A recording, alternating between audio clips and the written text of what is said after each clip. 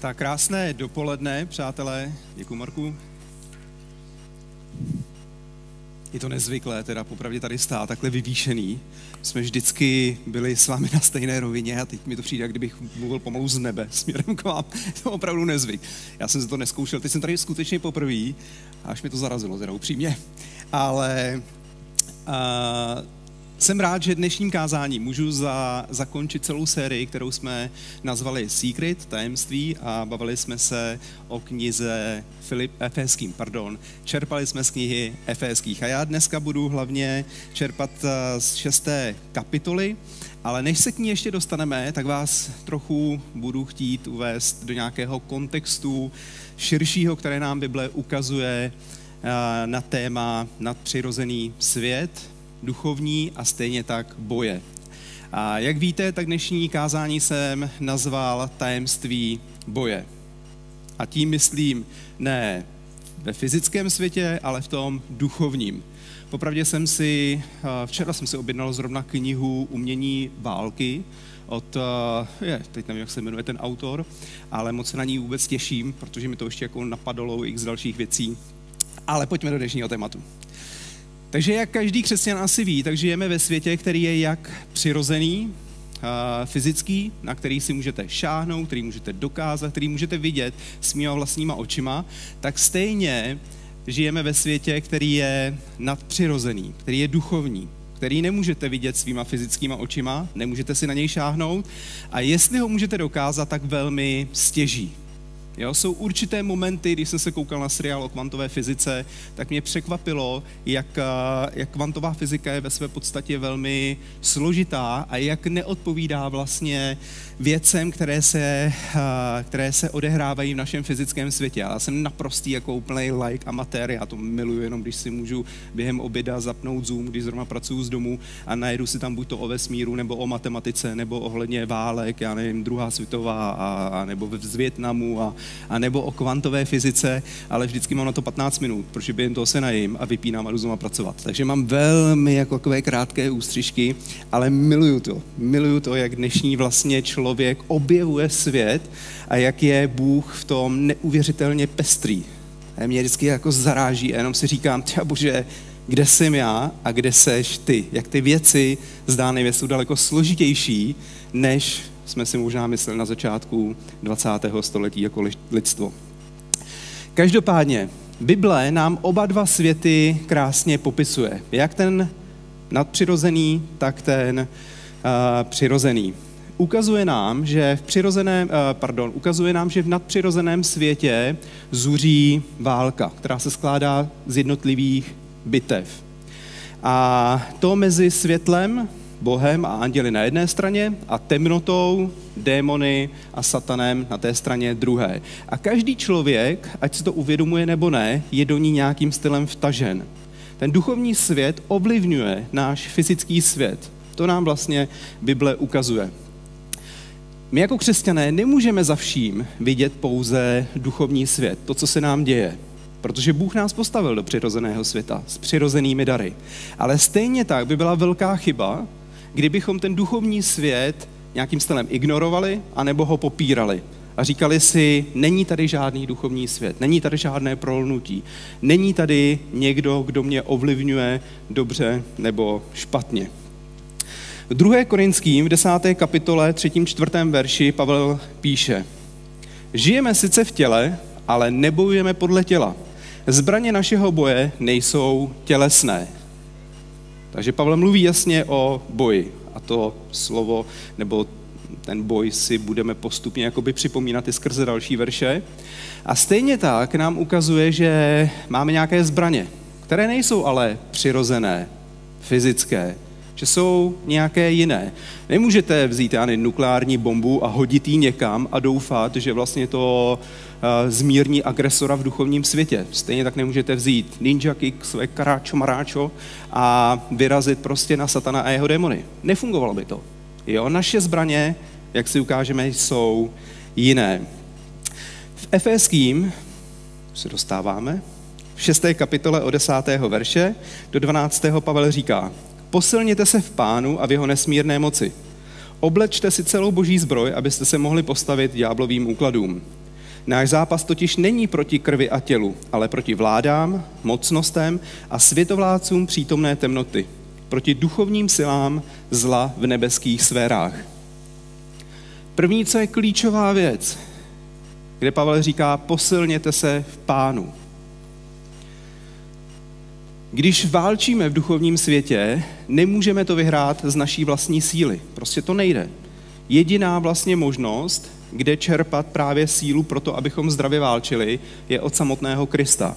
Musíme se v něm posilovat, být na něm vlastně jako závislí, čerpat sílu z toho jediného a nejlepšího zdroje a tím je Ježíš Kristus.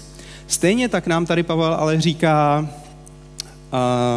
že, že naše, náš boj znova není proti tvému šéfovi, který tě třeba nějakým stylem usurpuje a nemáš ho rád.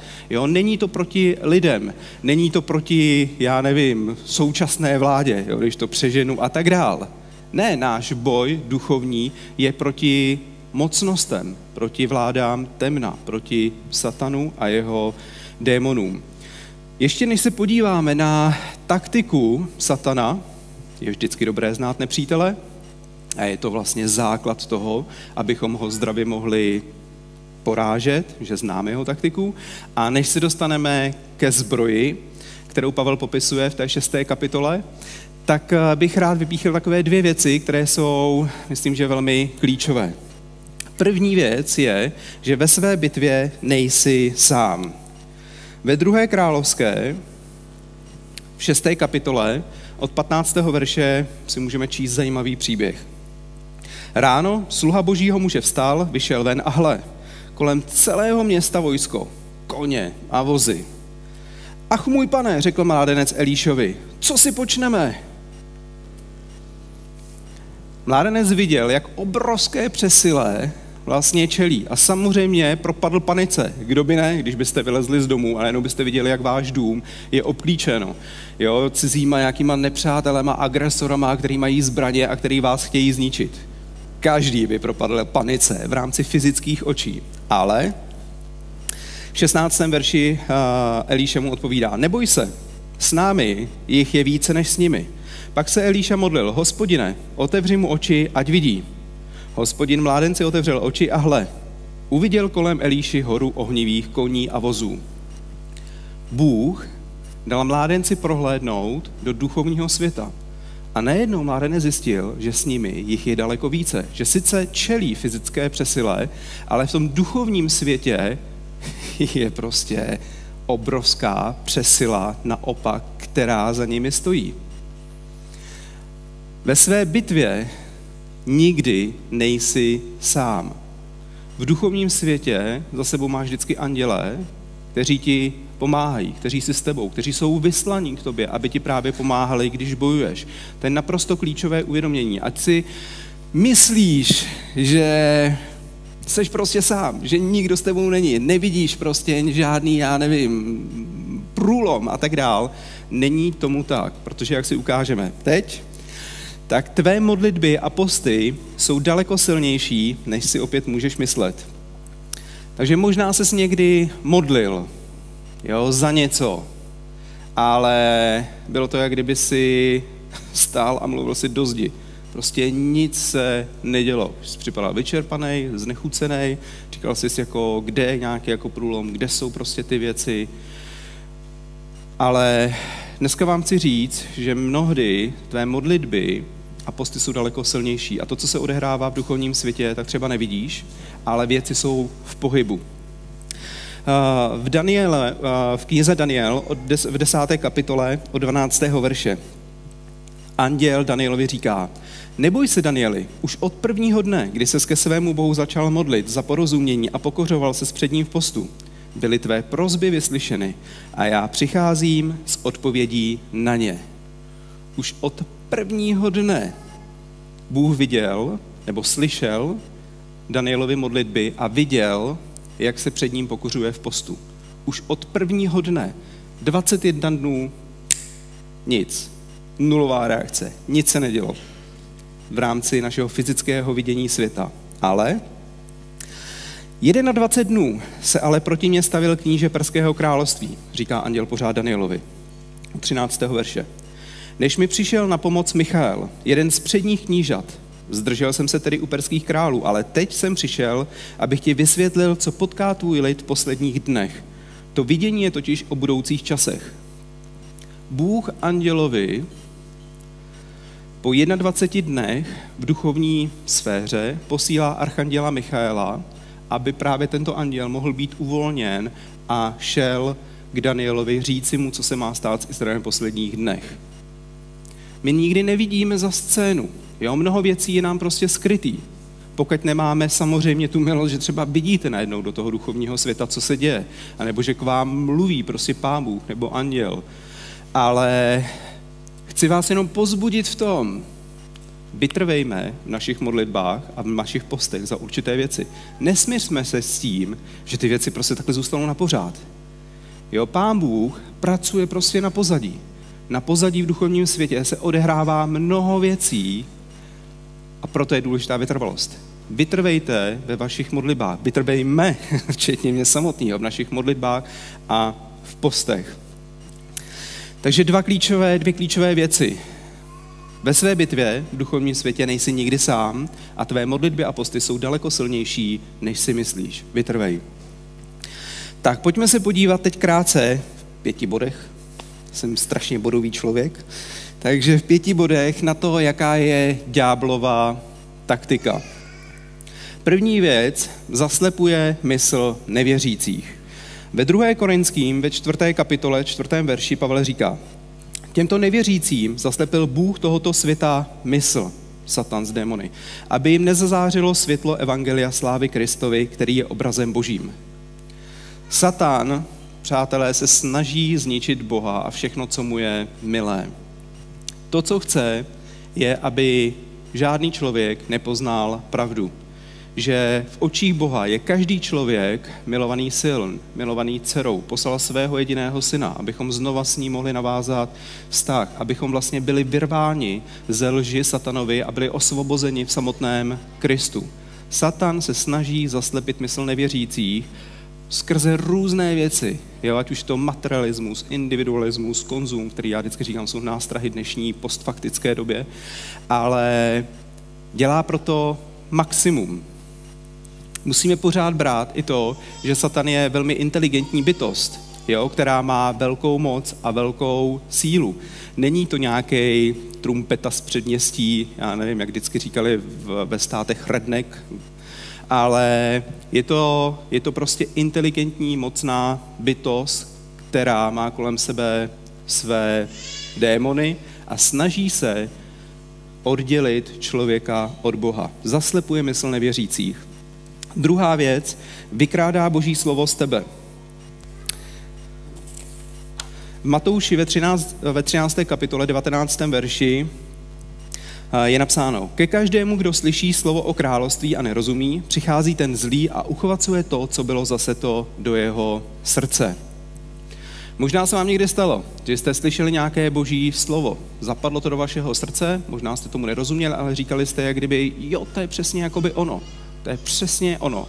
A najednou se sešlel uh, noc s dnem a bylo to pryč. Nebo po nějaký čas, dnem s dnem se sešel.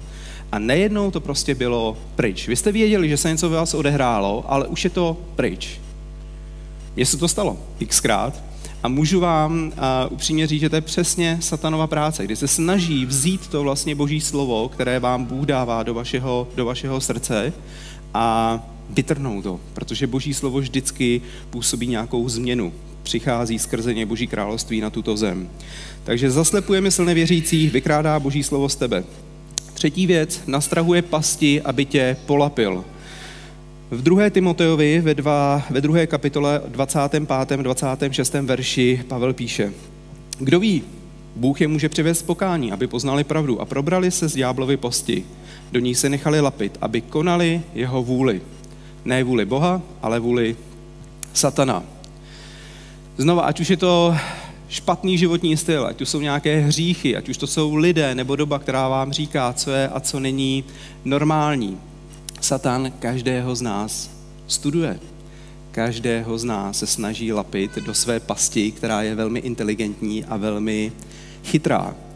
Nevím, jestli znovu máte podobnou zkušenost jako já, ale vždycky, když se rozhodnete válčit s nějakým hříchem, s něčím, co je špatné ve vašem životě, jak kdyby přišla ta nejlepší nabídka. Například, já nevím, řeknete si, fajn, začnu se oddlužovat.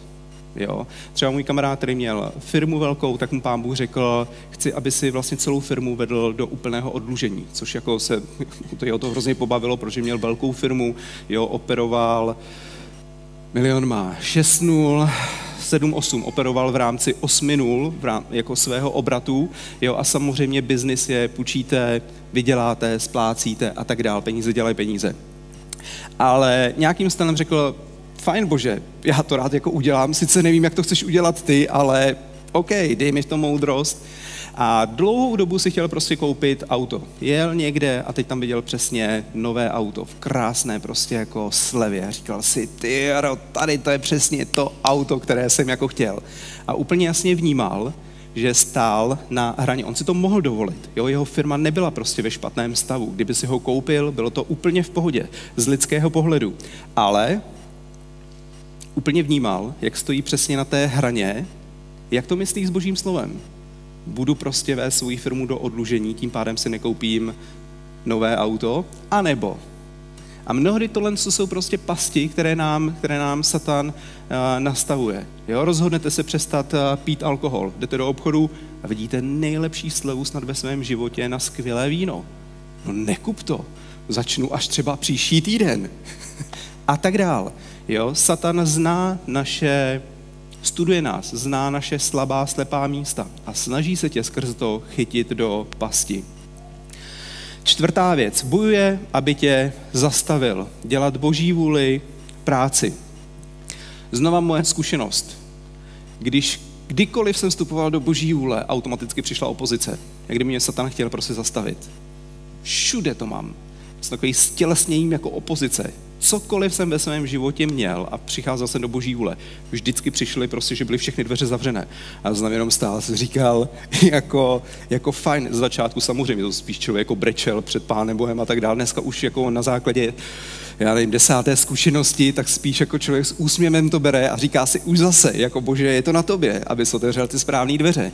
Ale vždycky přišla opozice. Ať už to bylo přestěhování se do Prahy, ať už to bylo prostě, já nevím, studování biblické školy, jeho fungování v rámci Martina Moldana, zapojení se tady v CBH Praha jako vedoucí mládeže a tak dál. Že to bylo v rámci manželství, když to bylo v rámci narození první dcery. Mohl by vám o tom povídat, pomohl napsat knihu když akorát já nejsem spisovatel. Ale jestliže dneska činíš boží vůli a čelíš opozici, garantuju vám, že jste na správné cestě. A pán Bůh otevře dveře. Nezdávejte to, protože pán Bůh otevře ty správné dveře a, a je to normální, je to přirozené. A poslední věc, plánuje, aby tě zničil. Jo, pardon, bůj, aby tě zastavil. První tesalonickým 2.18. Opravdu jsme k vám chtěli přijít. Já, Pavel, více než jednou, ale Satan nám to překazil. A poslední plánuje, aby tě zničil. První Petrova 5.8. Probuďte se, mějte se na pozoru. Váš protivník ďábel chodí kolem jako řvoucí lev a hledá kořist. Satan tě chce zničit. Chce zničit všechno, co Bůh miluje. Už jsme to řekli, znova to jenom chci potrhnout. Satan, přátelé, miluje prostě rozvody. Satan miluje, když eh, naše děti jsou ve spouře, když jsou závislí. Satan miluje, když eh, jsme v dluzích. Satan miluje, když, eh, když dlouhodobě trpíme, když prostě máme nějaké dlouhodobé nevylečitelné nemoci. Jo, Satan miluje, když může za tady to všechno obvinit Boha. A říká vám, vkrádá se do mysli a říká, za to může Bůh, že jsi takhle dlouhodobě nemocnej. Za to může Bůh, že jsi prostě, já nevím, manžel udělal to a to a dneska prostě jste od sebe. Za to může Bůh, že neochránil tvé děti a dneska, já nevím, jsou ve spouře vůči tobě nebo jsou prostě závislí na x věcech. Jo, a podobně. Satan se za všechno tady to snaží obvinit Boha. Já se s tím potýkám hrozně i často. Jo? A jsou těžké životní situace, kde říkáme, kde jsi, Bože, v tom, všemohoucí, teď to mohl, tomu si mohl zabránit. Kde v tom prostě jsi? Jo, a jsou to těžké prostě samozřejmě otázky, když najednou procházíte těžkým, opravdu složitým obdobím ve svém, ve svém životě. Ale já vám dneska chci garantovat, to není prostě jako Bůh, kdo to činí. Je to Satan, který se v tom vyžívá. A stejně tak věřím, že, že Pán Bůh vždycky nám dává posilu do těch situací, jenom se na něj musíme přimknout se vší silou, se vší naší prostě, jo, že je se na něj úplně jak klíště přisát a čerpat tu jeho sílu jako klíště z nás se je krev, nevím, jestli to dobrý přirovnání. Přeberte si to, ale myslím, že vědíte, co tím chci říct. Takže obchází a hledá, kde se mu naskytne příležitost, aby nás zničil. A to jenom kvůli tomu, že Bůh si každého z nás tak zamiloval. Že Bůh prostě nás tak miluje. Tak proto samozřejmě my jsme cílem jeho veškeré činnosti, jak nás oddělit od Boha. Jak se tedy můžu chránit? A stejně tak, jak můžu útočit? Jaká je má duchovní zbroj? Ve 13. verši a dál Pavel říká, vezměte si celou boží zbroj, abyste ve zlý den mohli odolat, všechno splnit a zůstat stát. Stůjte přepásáni na bedrech pravdou, oblečení pancířem spravedlnosti, obuti připraveností kázat evangelium pokoje. Na to vždy třímejte štít víry, jímž budete moci uhasit všechny ohnivé šípy toho zlého. Vezměte si také přilbu spasení a meč ducha, jímž je boží slovo. Za všech okolností se modlete v duchu. Za všech okolností se modlete v duchu. Proto vždy vytrvale bděte a v každé své modlitbě a prozbě se modlete za všechny svaté. Když to vezmu od zhora, přilba spasení. My nejsme spasení, zachránění na to, že jsme dobří, že jsme spravedliví. Myslím si, že každý z nás to uvědomuje. Jsme spasení na základě milosti Boží a skrze víru že jsme uvěřili a dali svůj život Kristu, jsme to aktivovali, tuto obrovskou milost. Když víš, a tady to neustále mám v mysli, tak je má mysl tím pádem chráněna. Víte, když si uvědomujeme, že potřebujeme vlastně spásu, že potřebujeme záchranu, tak automaticky hledáme i spasitele. Mnoho lidí, v tom je vlastně jako celá pointa že nejenom jednorázově, kdy jsem dal svůj život Bohu, ale já neustále potřebuju ve všech okolnostích hledat spasitele, protože každý z nás velmi dobře víme, že nejsme prostě dobří, nejsme spravedliví. Je to znova jenom milost Boží, která je, která je s námi skrze oběť Ježíše, že můžeme přinášet dobré věci do nás. Ale když jdeme na dřeň našeho já, tak tam velmi dobře známe, jak tam bublá to naše ego, které, jak říkám, je vždycky jak to popisuje Timothy Keller, Svoboda sebezapomnění, které je vždycky křehké, neustále hladové a pořád takové jako nafouklé. Jo, každý z nás to víme. Proto je právě potřeba tohle držet v mysli. Ničím si svou spásu nezasloužil. Je to čistě jenom milost Boží. A my potřebujeme dnes a denně hledat Krista jakožto zachránce ve všech oblastech našeho života. Přilba spasení. Pancíř spravedlnosti. Znova není to naše spravedlnost, je to jenom čistě a jasně Kristova spravedlnost, skrze kterou se na nás dívá i samotný Bůh. V Evangeliu podle Lukáše je krásný příběh o marnotatém synovi, který když se vrací, poté všechno rozhýřel, všechny peníze svého otce v rámci dědictví, tak co dělá jeho táta? Objímá ho, a nechává z něj svléci ten špinavý starý šat a obléká ho do nového šatu. V Zachariášovi ve třetí kapitole, v knize Zachariáš ve starém zákoně, tak máme podobný příběh s knězem Jošuou, který stojí před hospodinem, vedle něj je ďábel a kydá na něj všechnu špínu. Jo, neustále ho pomlouvá a podobně. Ale co dělá hospodin? Je krásné, že hospodin z něj znova sundavá, nechává svléci ten starý špinavý šat a obléká ho do nového šatu. A já věřím, že každého z nás, že to je Kristova spravedlnost, že každého z nás, když jsme dali svůj život Bohu, tak Pán Bůh nás obléká do Kristovy spravedlnosti a takhle se vlastně na nás i Pán Bůh dívá. Ne skrze naší spravedlnost, ale skrze Kristovu spravedlnost. A co víc, že my jsme právě schopní se znova vrátit do ráje před ten strom poznání dobrého a zlého a dávat to celé Bohu do jeho rukou Bože, ty jsi spravedlivý, ty rozhoduj v mém životě, co je správné a co není správné. Že my nevytváříme svoji představivost, protože máme jenom dílčí poznání. Když si vezmete jenom v rámci vztahu, jo, kolikrát vždycky jste na někoho naštvaný a teď jako by si říkáte, ten je úplně mimo všechno to, co udělal. Ale ve finále když se s tím člověkem potkáte a on vám ukáže, jak nad tím přemýšlí, jo, ukáže vám své srdce, tak najednou zjistíte, jak jste mnohé věcech byli prostě, měli jste předsudky jo, vůči tomu člověku. Vy jste věděli, jak by se měl zachovat, ale když se najednou dotknete jeho srdce, tak najednou zjistíte, jak jste byli úplně mimo. Jo? A to je znova, Pán Bůh vidí srdce všech, proto my máme být vlastně orientovaní hlavně na, na jeho spravedlnost a ať on rozhoduje, co je dobré a co je špatné pro náš život a to by mělo být vyleto i do životu ostatních lidí skrze nás.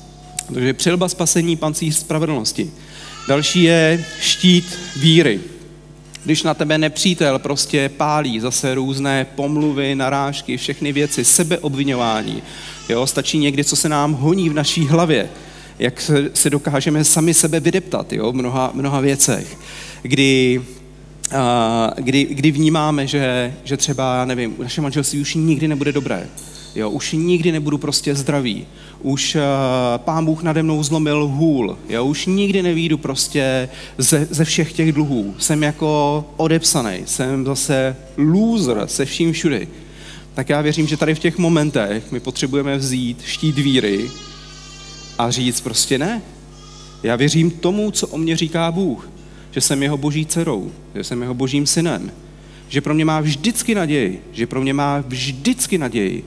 A pán Bůh nám to jasně ukazuje. Každý, kdo ho hledá, tak se obměňuje dobrem, protože je dobrým Bohem. To jsou prostě fakta, úplně jasný a, a zjevný. A nikdy nesmíme upadnout do, do nějaké malomyslnosti a že nás lidé budou vlastně škatulkovat podle sebe, případně, že my začneme sami sebe škatulkovat. Místo toho, abychom neustále stáli na božím slově a vnímali to, co o nás říká Bůh, Bible.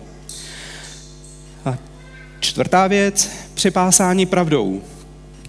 Přátelé, mi se vždycky líbí, jak i Pavel byl v mnoha věcech velmi praktický. Jo? I v duchovním boji vám prostě nespadnou kalhoty.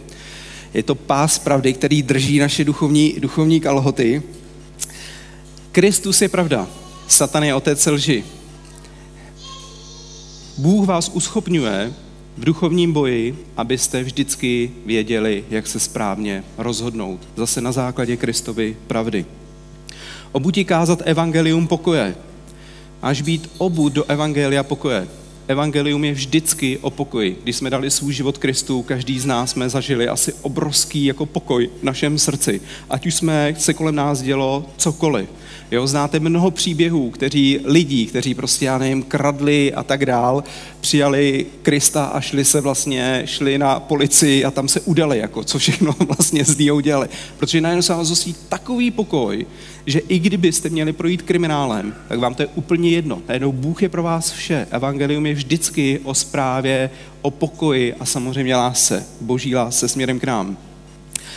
Taky je hrozně zajímavý, nebo máme být i připraveni v rámci bitvy vždycky vydat správné svědectví jo, o Ježíši a o, o tom, co pro nás udělal. Ale když se podíváte do historie probuzení, drtivá většina probuzení vznikla na základě útlaku, nějaké obrovské opozice kde se začalo šířit evangelium boží, ať už to je třeba v dnešní Číně, ať už je to v muslimských zemích a podobně.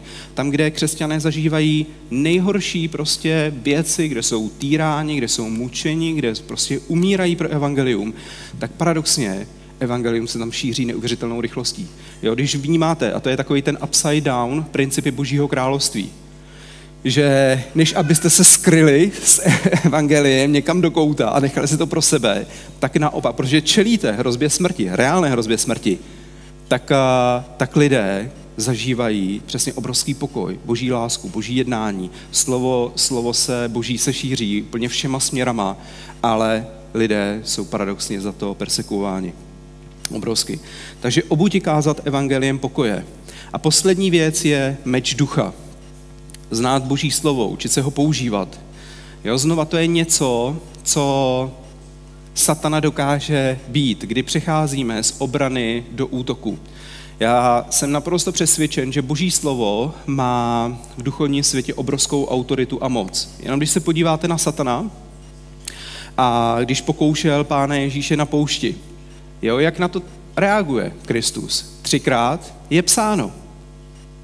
Zajímavé, že i Satan v jeden moment říká, je psáno. A to mě znovu vede jenom k myšlence. My musíme vědět, kdy a jak Boží slovo používat. Protože jestli budeme jenom s Božím slovem šermovat jen tak do prázdna a myslet si, že vlastně vedeme kvalitní boj, tak jsme vedle jak ta jedle. Satan zná Boží slovo a jde vidět, že ho taky používá. Otázka je, jestli my známe Boží slovo, víme kdy a jak ho používat. Kristus to jasně věděl a jak to dopadlo? Po třech vlastně těch pokušení přišli andělé a obsluhovali ho. Tak, přátelé, takže jenom když to, já to vlastně schrnu za chvíli, ale to, co je naprosto klíčové, a už se budu blížit k závěru a schrnutí, a bez toho bych nedokázal opustit tady to pódium, tady ten pultík, tady ten pultík, je, že my nebojujeme pro vítězství, ale my bojujeme z vítězství. To je naprosto stěžejní věc každého křesťana. Celá válka, i když zuří jednotlivé bitvy, tak je dávno vyhraná. Kristus ji za nás vyhrál. Kristus je tou nejvyšší autoritou v duchovním světě. Tou úplně top společně s Bohem. Takže i když bojujete v některých věcech, tak vždycky bojujete z vítězství. Nikdy nebojujete pro samé vítězství. Proto je tak důležité být neustále a ve všem upnutý na samotného Krista. Proto je tak důležité poddat mu komplet všechno se vším, co mám, jemu do jeho rukou. Protože čím více tohle to budeme dělat, tím více uvidíme jeho jednat v našem životě. A to je vlastně i naše mise, abychom byli božíma, kristovýma rukama v tomto světě. Abychom se stali zhmotněním evangelia v každém koutku a záhybu naší společnosti to je prostě naše mise. Tady to nikdy nesmíme pustit z, naší, z našeho zřetelu, z naše, jako, jakožto naš, náš cíl. Ještě jsem zapomněl jednu věc. Když jsem vlastně četl, jakou máme boží zbroj, tak v tom 18. verši se píše, za všech okolností se modlete v duchu, protože vždy vytrvale bděte a v každé své modlitbě a prozbě se modlete za všechny svaté. My jako křesťané, tak jsme chráněni ze předu, boží prostě zbrojí, ale Pavel nic nepíše o našich zádech. Tady ten krásný verš vystihuje znova jednu důležitou věc a to je, že jako církev, jako věřící lidé máme krýt záda jeden druhému.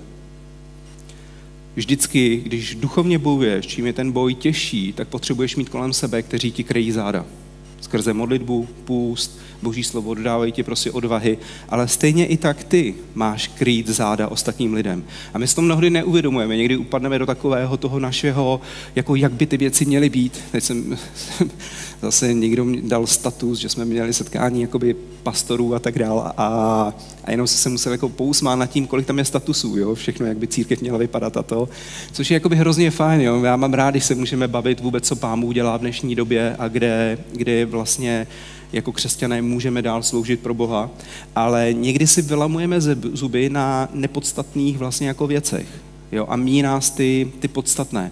A to je, abychom znova přinášeli Boží království do tohoto světa, abychom stáli jeden za druhým, abychom si pomáhali, podpírali se a ne, abychom neustále říkali, kdo je špatný a kdo je dobrý, kdo splňuje naše kritéria, aby mohl být tady v rámci bohoslužby a splňuje kritéria v rámci toho, kdo by může stoupit tady na pódiu a podobně. To jsou naprosto jako chápu to jo, z morálního hlediska etického, že to je důležité, ale ve finále zaměřujeme se na ty podstatné věci a ty nepodstatné jim dáváme, dáváme prostor. Mně se v tom líbí i heslo jednoty bratrské, které, staré jednoty bratrské, které říká v podstatných věcech mějte jednotu, v nepodstatných svobodu, ale hlavně ve všem lásku. A myslím si, že to je takový krédo, který by mělo být každé vlastně církve. Takže schrnutí. I když žijeme v přirozeném světě, tak je zde duchovní svět, ve kterém zuří válka. A do této bitvy si chtě nechtě nějakým stylem vtažen a ovlivňuje to, ať už si to uvědomuješ, anebo ne. Neválčíš proti lidem, ale proti duchovním mocnostem, proti satanovi a jeho démonům.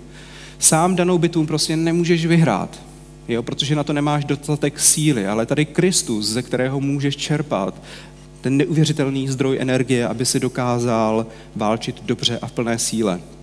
Pamatuj, že nikdy ve své bitvě nejsi sám, ale vždycky tam s tebou jsou bytosti, které ti Bůh posílá, jeho anděli, kteří ti pomáhají v té bitvě.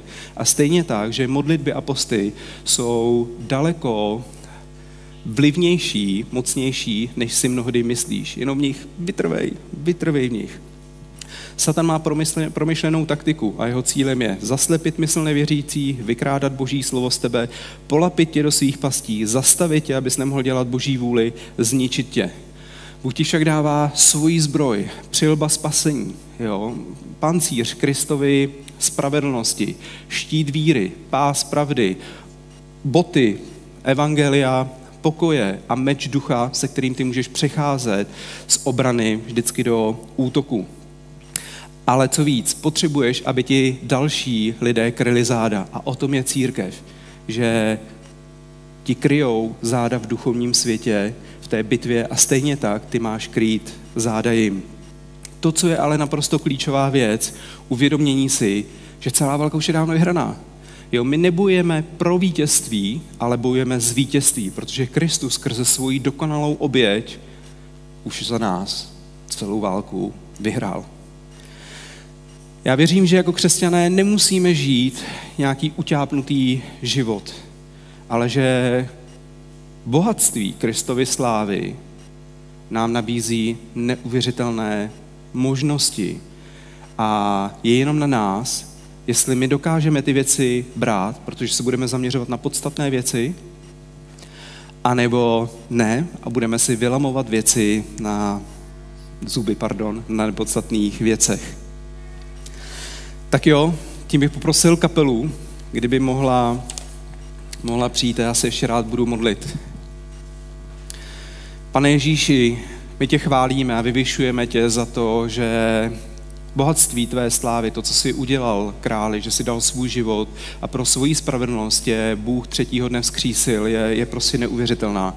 A čím více se dívám na rozmanitost tohoto světa, ať už je to v rámci vesmíru, nebo ať už je to kvantové fyziky, nebo ať už je to v rámci nás, jakožto, jakožto lidí, který jsme, který máme inteligenci, který máme duši a který toužíme celou bytostí po, po tvém duchu, tak je to prostě pro mě neuvěřitelný, jak jsi obrovský, jak jsi všemohoucí a vševidoucí, pane. Modlím se, aby si nás jako církev posiloval, aby si nám dával tak ukazovat, za čím máme prostě stát a co máme nachat, pane. Běžet, ať se dokážeme vždycky zaměřit na ty podstatné věci, a za ně prostě, ať, ať, ať se nima společně stojíme, za ně bojujeme, ať můžeme vidět, jak náš národ opravdu je proměňován do tvé podoby, králi. Ať se modlíme za naši vládu, za, za to, aby tvá moudrost opravdu a, a tvá vševědoucnost řídila i osud českého národa. Ať můžeme být opravdu křesťany, kteří budou mít slova plná požehnání a plná, plná ducha svatého, pro nejenom naše životy, ale pro životy ostatních lidí. Ať eh, lidé, kteří nevěří, tak můžou vidět jasný a hmatatelný rozdíl mezi lidmi, kteří ti patří, oproti ním, kteří ti nepatří, pane. Ať jsme světlem a solí pro náš národ. Dej nám milost i v jednotlivých bitvách, ať můžeme vidět opravdu to tvé vítězství, které si nám připravil, pane. Ať lidé, kteří jsou dlouhodobě nemocní a čelí prostě zoufalým věcem, tak ať, pane, dojde skutečně k průlomu, kdy najednou veškeré dlouhodobé utrpení tak bude zastaveno a přejdou do tvého požehnání, pane. Modlíme se za lidi, kteří jsou třeba v dluzích a rozhodli se proto odlužovat. Ať skutečně jim neuvěřitelně, pane, žehnáš, ale ať dokážou i stát vždycky na té tvé pravdě a dokážou vnímat, že veškeré finance stejně patří tobě, ať je dál vylévají do požehnání, pane, lidí okolo, okolo tebe. Modlím se za, za vztahy, za rodiny králi, ať skutečně tvůj pokoj je uprostřed rodin a děti jsou vychovávány ve tvé lásce, pane. Ať rodiče mají blízko k sobě, ať skutečně dokáží z takového toho našeho ega, které v nás mnohdy kypí nebo uh, bubnuje, pane, tak dokážeme z něho ustoupit ve prospěch toho druhého, kdy budeme skutečně aktivně hledat tvoji lásku a tvůj pokoj a nebudeme dávat ostatním lidem, když splníš to a to a to, pak teprve já možná. Ale ať sami dokážeme umenšit to naše ego, dát to do tvých rukou, ať můžeš pane, znova ty vztahy prostě lepit a, a dávat dohromady. Modlíme se za naše děti, ať můžou vyrůstat skrze, skrze nás dospěláky v poznání Krista. Ať si na nic nehrajeme, pane, ať našim dětem dáváme svobodu, aby sami tebe našli, tu tvoji cestu a lásku pro jejich životy, pane. A tím zbytečně nenabíráme bagáž na, na jejich záda a neříkáme, když tohle to uneseš, pak seš teprve správným křesťanem. Pane, ať máme moudrost, tvoji milost a lásku, být skutečnými křesťany, tak jak ty sám si přeješ v dnešním světě, protože vidím, jak dnešní společnost tak obrovsky potřebuje, pane. Chvála tobě, králi. Amen.